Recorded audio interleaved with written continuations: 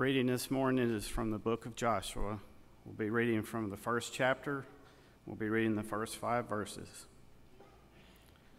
After the death of Moses, the servant of the Lord, it came to pass that the Lord spoke to Joshua, the son of Nun, Moses' assistant, saying, Moses, my servant, is dead. Now, therefore, arise, go over this Jordan, you and all this people, to the land which I am giving to them, the children of Israel. Every place that the sole of your foot will tread upon, I have given you, as I said to Moses. From the wilderness and this Lebanon as far as the great river, the river Euphrates, all the land of the Hittites, and to the great sea, towards the going down of the sun, shall be your territory. Now no man shall be able to stand before you all the days of your life, as I was with Moses. So I will be with you. I will not leave you nor forsake you. Please be seated.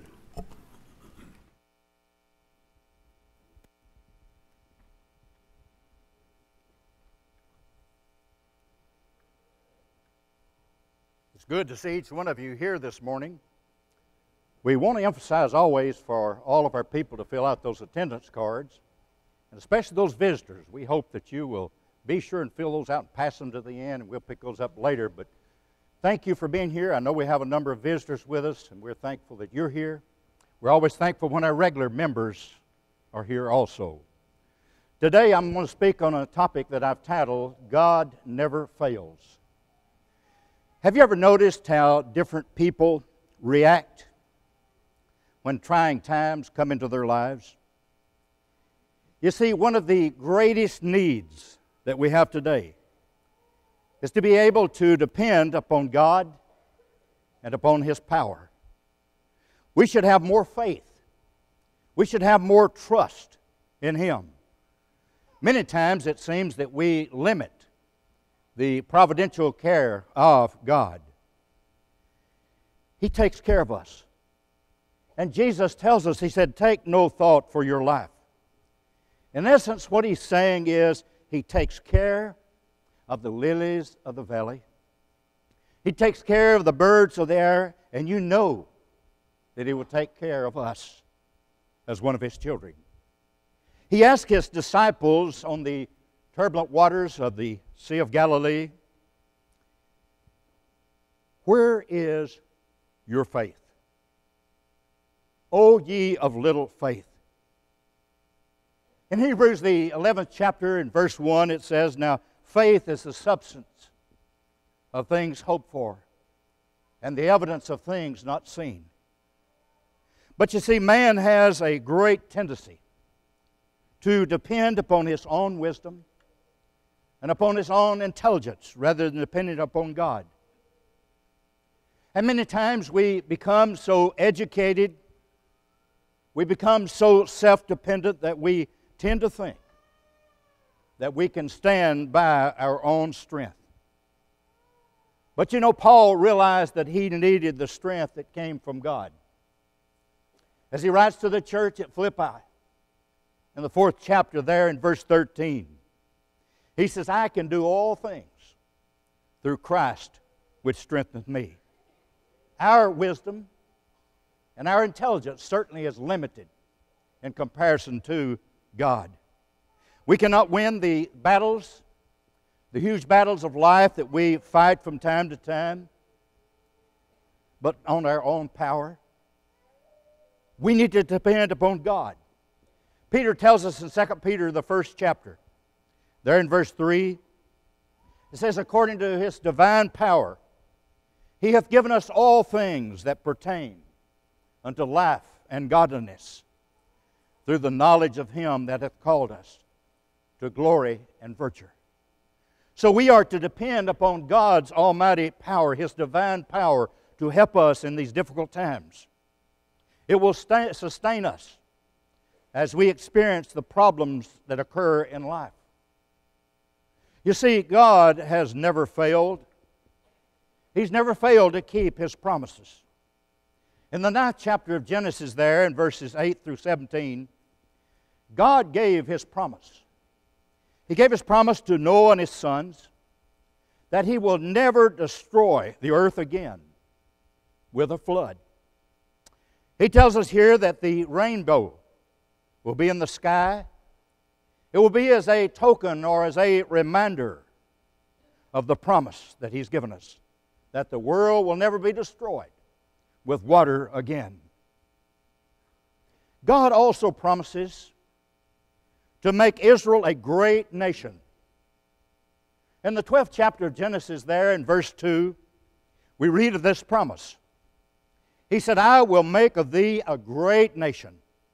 I will bless thee and make thy name great, and thou shalt be a blessing, a great nation. You see, God is talking about the Jewish people. Abram's name was to be changed to Abraham, who was the father of the multitudes. You see, we all need this to transpire in our lives. As God never fails us to keep His promise, we need to keep our eye on the cross of Jesus. You see, God also promised us to save the obedient. What a great promise that He's given us.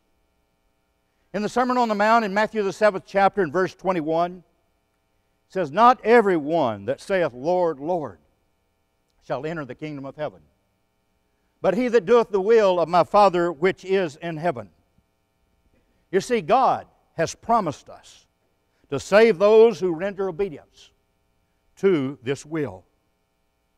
The beloved Apostle John tells us in 1 John 2 and verse 17, And the world passeth away, and the lust thereof, but he that doeth the will of God, he abideth forever. Paul said in 2 Thessalonians 1 and verse 7, he said, To you who are troubled, he said, Rest with us when the Lord Jesus, when he shall be revealed from heaven with his mighty angels. You see, yes, God has promised us. He's promised us to save us who have obeyed that precious gospel of Jesus Christ. God is not slack concerning his promises. In 2 Peter 3 and verse 9, it says, The Lord is not slack concerning his promises, as some men count slackness, but he's long suffering, not willing that any should be perish, but that all should come to repentance. See, God keeps his promises. It has now been some 2,000 years since Jesus died on Calvary's cross.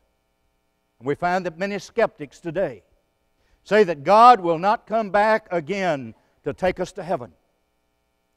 But you see, verse 9, it says that God is long suffering. That means that He is patient. He's given us time to repent, He's given us time to change our lives. He wants all of us. He wants every single one of us to be saved. And that's why He sent Jesus to this earth in the flesh. In Luke, the 19th chapter, and verse 10, it says, The Son of Man is come to seek and to save that which was lost. But you see, He expects us to be obedient to His commandments. In 1 John 5 and 3, it says, For this is, for this is the love of God, that we keep His commandments. And His commandments are not grievous. God has never failed. He has never failed to solve the human problems that we experience in our lives. We see multitudes come to Jesus with problems. In the 10th chapter of Mark, in verse 17 through 21 and 22, we see the story of that rich young ruler. And he came to Jesus with a plea. And here was his plea What shall I do that I may inherit eternal life? You see, Jesus told him a number of things that he should do. Jesus told him what he needed to do. He said, Sell all that you have and give to the poor, and take your cross and follow me. And because this man was a wealthy man, the Bible says that it grieved him and he went away. Jesus gave him. He gave him the solution to his problem, but he was not willing to accept that the same today. People are told in God's Word what they must do to live a righteous life. But you see, many today like that day and time, were not willing to listen. We see another problem that occurs that brought Jesus attention the problem of equality or greatness. You remember there also in Mark the 10th chapter? Jesus, he writes this James and John, the sons of Zebedee, they had a desire to sit on his right hand and the other on his left hand in his kingdom. But there in Matthew 10, verse 43 and 44, Jesus solves this problem from them if they would just listen. He said, But so it shall not be among you. But whosoever will be great among you shall be your minister. And whosoever you will be chiefest shall be the servant of all. So you see, no one shall be elevated above another in the Lord's kingdom. No one is greater than anyone else. And so in our civil life, those who are wealthy, they usually have power and they are served by others. But Jesus says that's not so in the Lord's kingdom. In verse 31 there in Mark 10, it says, Many of the first shall be last, and the last first. You see, those who have the deepest level, the deepest degree of faith, God will minister to those who are weaker in faith. God is able to solve the human problems that each of us have in our lives. He helps us also to solve anxiety and worry. And I know that this is useless to talk about because no one worries. I know that. But God helps us to deal with that. In Matthew, the sixth chapter, and verse 34, Jesus said, He said, Take therefore no thought for tomorrow, for the morrow shall take thought for the things of itself. He says, Sufficient unto the day is the evil thereof. Jesus is saying, Don't be anxious. He's saying, Don't worry. Don't have those anxiety attacks because the sun will rise tomorrow, regardless of whether we worry or not. We need to understand that God is in control. So don't worry. And when I prepare these sermons, I know all of us as preachers, we preach it to ourselves first. We need this too. You see, God helps us to set our priorities, to get our priorities right in our lives. There has to be priorities that are established. In Luke, the 10th chapter, we have two sisters that are involved in helping Jesus. Martha, you see, was concerned about fixing food, cooking for Jesus. But Mary, who was sitting at the feet of Jesus, she was listening to his teaching. You see, Martha, she had a problem with Mary because Mary was not helping her serve. But in Luke 10 and 42, Jesus says, But one thing is needful that Martha, listen, Mary hath chosen that good part which shall not be taken away from her. Martha was concerned. She was concerned with the physical things, but you see, Mary was concerned with the spiritual. And Jesus uh, said, Mary, He said, You have chosen correctly. So God's Word will help us set values in our life. God has never failed to make human life better. We see this constantly in people's lives. We see Peter, who at one time was arrogant, vengeful. We see where he used profanity. But yet he became a humble servant of God.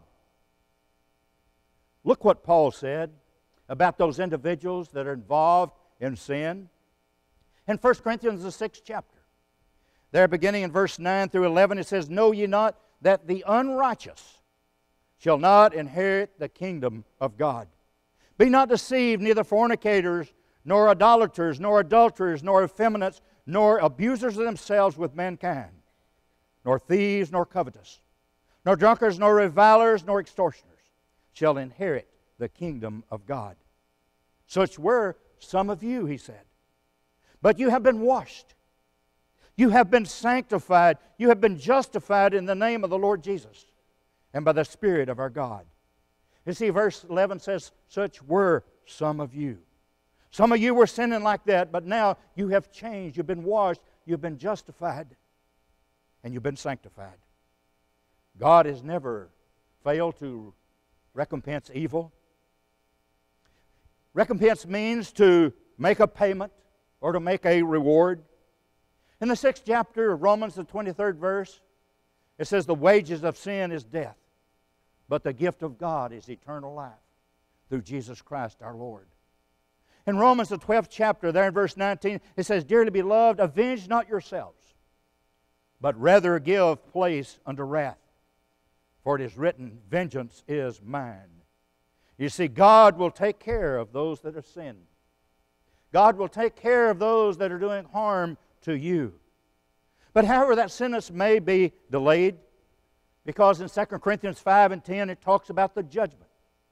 That all of us will appear before the judgment seat of Christ someday, and we don't know when that will be. I know in Acts, the fifth chapter, he dealt with Ananias and Sapphira on the spot because they'd lied to God. But you see, there will be a day of reckoning, there will be a day of judgment. God has never provided for, never failed to provide for his people. He provided manna and quail in the wilderness in Exodus chapter 16. He will satisfy our needs and not our desires. He will give us the strength that we need, an opportunity to work. In 2 Thessalonians 3 and 10, he says, If we don't work, we don't eat. You see, we know that God never fails us because He has even provided a way for us to escape damnation at the end of this life. God allowed His Son Jesus to go to Calvary's cross and to die and shed all of His blood that we might come in contact with that blood and have all of our sins washed away. Jesus is our Savior. He is the only source of salvation that you and I have. He was the only one that ever walked the face of this earth without sin. He was the only one that was qualified to die for us. And so we must believe in Him. Jesus said in Mark 16 and 16, it says, He that believeth and is baptized shall be saved, but he that believeth not shall be damned or lost. So we must believe in Jesus Christ as the only begotten Son of God. We must be willing to repent or change the direction in our lives. I tell you, nay, but except ye repent, ye shall all likewise perish. Luke 13 and verse 3. We must be willing to confess the glorious name of Jesus. I believe that Jesus Christ is the Son of God. That's the great confession that you and I must make. But yet we still have our sins. And now why tarriest thou? In Acts 22 and 16. And now why tarriest thou? Rise and be baptized and wash away thy sins, calling on the name of the Lord. We come in contact with the blood of Jesus and the watery grave of baptism. And all of our sins are washed away. And Romans 6, 3 and 4 says, after that, then we will walk in newness of life. We may have some here today that have never obeyed the gospel of Jesus Christ. If you've never obeyed, we want to give you a chance just in a few moments. But we may have, with most Christians here this morning, we may have those that do not have the, the same zeal that they once had when they became a child of God. And if you want to rededicate your life, or if you want to have the prayers of the congregation for you, whatever your need might be, I hope and pray that you will respond as we stand and sing. Wonderful.